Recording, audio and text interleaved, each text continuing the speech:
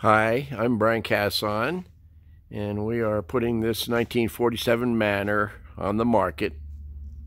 Uh, right now, today, the way it sits here, the way you're looking at it, with the exception of the steps and the fairing over the stove vent, I'll be removing those, and I'll be removing the interior because the interior is pretty nice and installing it into this 47, uh, 48 Spartan there.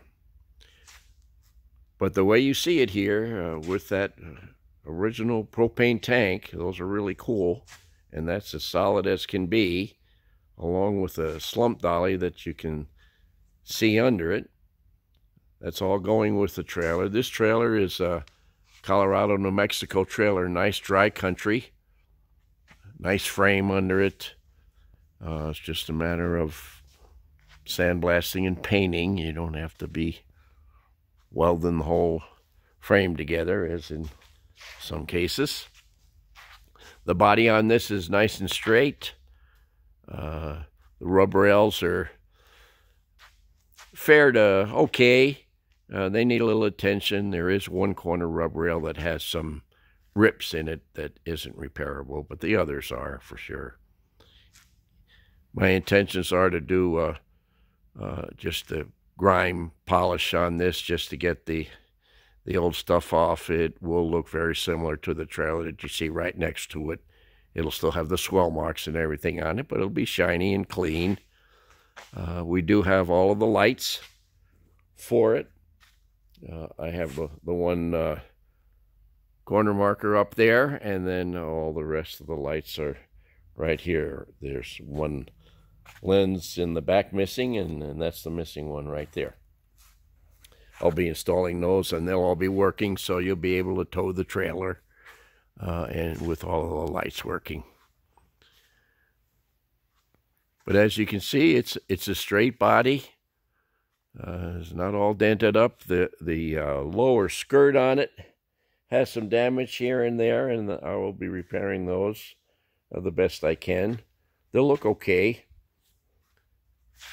The uh, the only damage on the body, the, the worst damage on the whole body, really, is that ridge that you see right there uh, behind the rub rails. I'll be able to knock both most of that out from inside, uh, and then when I polish it, it I don't think it'll be real noticeable. But that's the worst part of, of the whole trailer right there. I will be making a skirt for this, although it won't have the rub rail on it. It has the skirt on the other side. Now this trailer does have some hail damage uh, on the top. The sides are pretty darn nice. Uh, and the hail damage is really uh, mostly in the very center. Uh, the sides of the roof, uh, you know, don't really show a whole lot at all. It still has uh, uh, one of the vents there with all of the working mechanism. The front vent has the working mechanism, although the cap isn't on it. I do have one of those to put on. And then the center uh, vent doesn't have the cap or the mechanism, but I'm going to be taking the one off of the trailer next to it, which is a 48 crank up type. It's not exactly the same as what's in this trailer, but nobody would notice, and they fit. Now, somebody way back when put these ugly uh, lights in here. I'll be taking those out and replacing them with a square patch or triangular patch with as close to matching rivets rivets that I can get. And when I get it on, it'll be all polished and everything, and only you will know that there's something that's been done there. You can see the lower skirt there is in bad shape. That's a very easy repair. I'll be putting a new one of those on. The one tail light lens I mentioned that's missing goes right there. Still has the back window on it. Uh, it, it even has the screen. Huh, it even still has the lock on there. I, I suspect that lock will probably be going, but you can, as you can see, everything it works. The uh, That's the nice part about dry country trailers.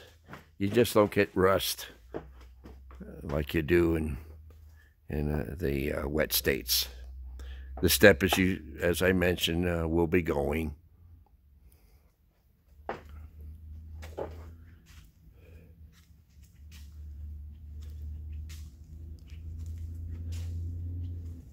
that fairing up there that you see over the heater vent, I will be removing that and of course putting a patch over that hole. The heater hole already has a, a vent on it, so won't be doing much there. But you can see, you see all these sweeps and stuff, all that stuff comes right off. Um, just as in this trailer here, you see it's rusty and, and from the screen and whatnot. All that stuff just compounds off. This was done a few years ago. Uh, that white stripe you see there is just a soapy mark. But it'll, the, the I have brake parts that I'll be putting on there and uh, getting them to work the best I can. The tires will be uh, very, very much uh, towable tires. Uh, the, the trailer should look pretty nice once it's all polished and the front tank and hitch painted and whatnot. I, I think it'll look pretty good. When I'm all done, the trailer will be in the 65.7 range. Today, before I touch it, it's 4. So if you happen to call any time between, it depends on how much work would have been done by that time. At any rate, thanks for watching. If you're interested, my number 970-302-9137. Thank you much. Thanks for watching.